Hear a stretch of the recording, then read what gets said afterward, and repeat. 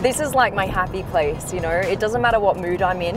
As soon as I get behind the wheel of a supercar, I just feel happy.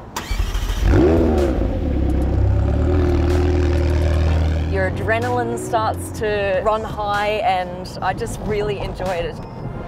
What's up, what's up, what's up, what's up guys, it's Supercar Blondie. I'm Alex Hirschi, uh, known as Supercar Blondie. I hunt down the coolest cars and I film them for my audience and put them on all different types of social media platforms. So on Facebook, some of my videos have half a billion views, you know, and that's insane.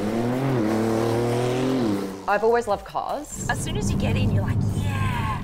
And then when I came to Dubai, my interest just exploded because Dubai is a place where you get to see luxury cars every single day.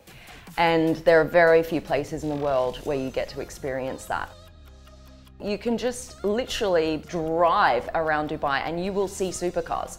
Uh, you can stop off at this five star hotel, there are always going to be supercars parked outside. They're just everywhere in the city. It's, it's a massive driving culture, and what I love about Dubai is how they facilitate the driving culture. I'm part of a couple of supercar clubs here in the city, and instead of trying to limit people's fun, they actually try and facilitate this fun but in a safe way.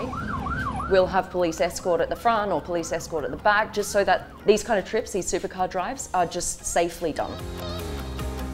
If it wasn't for living here, I don't think I'd be doing what I do now. I'm not a car expert and I will never claim to be a car expert. One of the reasons why my platforms worked and kind of really uh, kind of exploded in that first year is because I talked about cars from a layman's perspective. When you move the steering wheel, look what happens to the screen. I never thought this would be a job. We've gotten this far here in Dubai, which is fantastic. You know, like over 50 million followers in three years, and I've done it all, you know, based here. My favorite part of the job is obviously actually getting to drive the cars. My goal was to own a supercar one day, and now I actually get to drive them for a living, which is crazy.